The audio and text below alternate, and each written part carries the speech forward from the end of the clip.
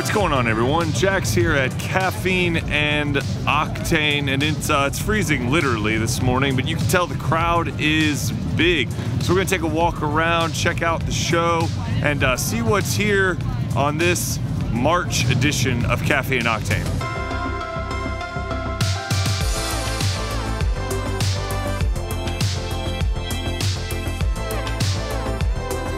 It's a 2006 Scion XB. If you're in Japan, they call them a Toyota BB. I've been working on it for about five years. I bought it about five years ago. Just kind of did the wrap. Uh, between my wife and I, we did quite a bit of the work on it. Uh, pretty much almost everything on there, her and I had some part of putting on, installing, or building. I kind of wanted to do the Japanese theme with it. I want full JDM, Itasha style. Just kind of something I wanted to do, something unique. It's one of those cars, I've, what, third motor on it? So, no, it's not going anywhere anytime soon. One of the cool things about coming out to Caffeine and Octane is they make a TV show called Caffeine and Octane, and they are filming today. So I'm gonna go creep on them a little bit and uh, and see kind of behind the scenes process of how they film the TV show here at the car show. It's pretty cool and it's uh, definitely unique.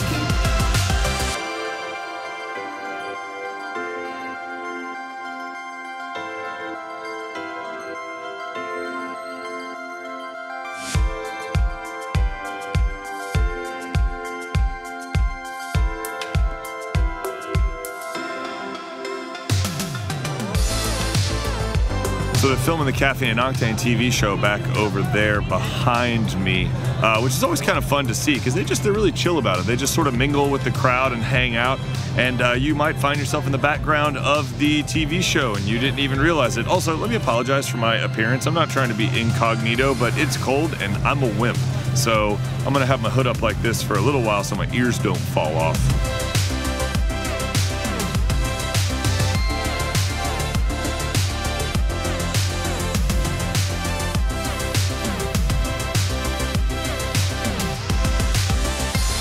Also, you might notice that the crowd is big despite the weather. That's because uh, even if the coronavirus was ravaging Atlanta, people would still turn out for caffeine and octane. They'd be like, it's fine, my nose is just runny, but I got to go to the car show.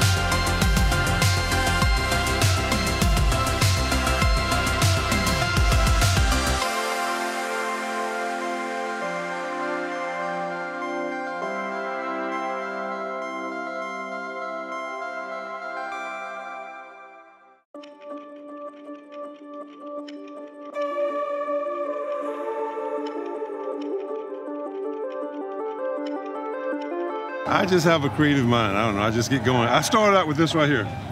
This is where I started. This one piece.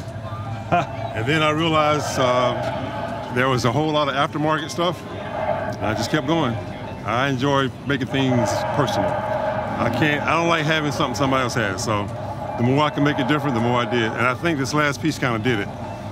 You never. That's why I have got one on one on it. That's it. You won't see another one like it.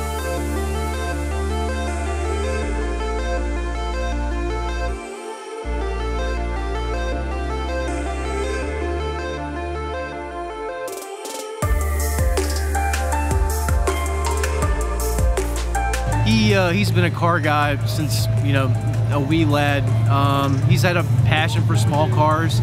I've, he's been a family friend of mine since I was like 15. So it's one of those things where uh, a bunch of us went to Japan. He'd already bought some cars from some guys over there, and uh, he wanted to go meet them, but he tagged along with us, make the trip cheaper, yada yada yada.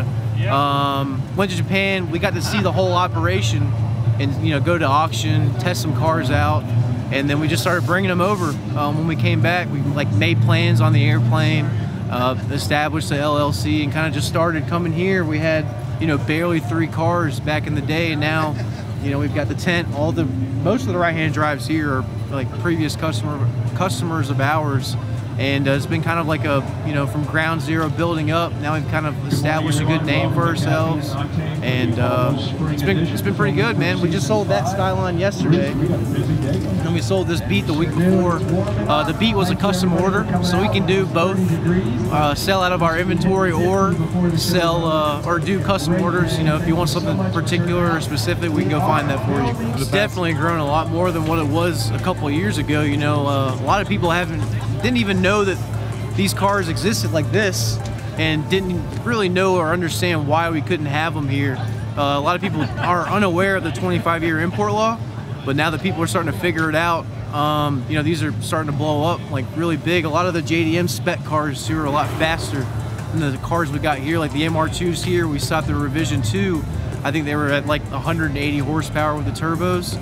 The revision 3s that were released in Japan were 285 stock uh, same car, but they just have to go through all the EPA and all the regulations here in the U.S. So yeah, it's definitely been picking up a lot. One of the coolest things about Caffeine and Octane has got to be the diversity of cars, of people, of dogs. There's a lot of dogs here. If you're a dog person, you would love Caffeine and Octane. We were going to start Caffeine and Canines, but it, it didn't take off. It, it like five people showed up and they were all a little weird. But Caffeine and Octane, the diversity of people is sort of its hallmark. You see people with classic cars, trucks, motorcycles, JDM. Uh, you got the Mopar boys, you got the LS boys, you got the Ford Mustang boys, and they all don't like each other. It gets awkward sometimes. I'm just kidding. Everybody gets along great because car people are awesome people, and that's why this show is so successful.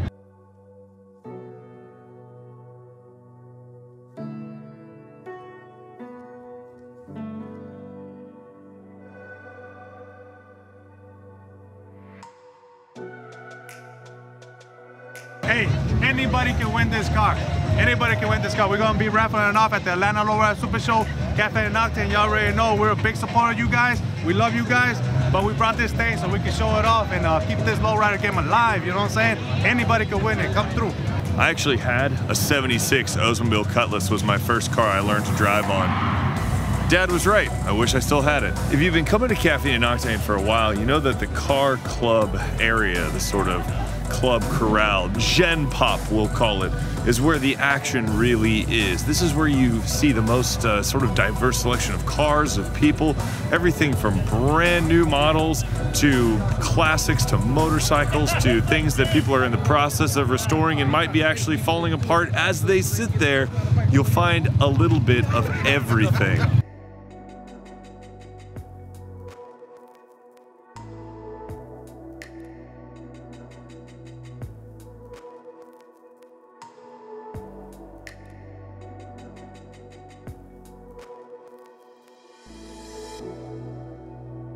Sometimes when I'm at Caffeine and Octane, I like to play a little game called Which Car Would I Like to Kill Me?